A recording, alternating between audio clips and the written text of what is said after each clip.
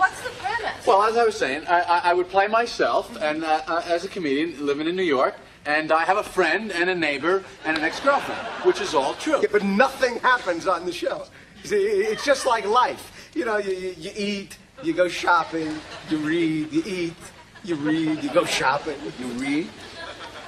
You read on the show? Well, I don't know about the reading. We didn't discuss the reading. All right, tell me, tell me about the stories. What kind of stories? Oh, no, no stories. no stories. So what is it? What did you do today? I got up and came to work. There's a show, that's a show. How is that a show? Well, uh, maybe, maybe something happens to you on the way to work. No, no, no, nothing happens. Well, something happens. Well, why am I watching it? Because it's on TV. Not yet.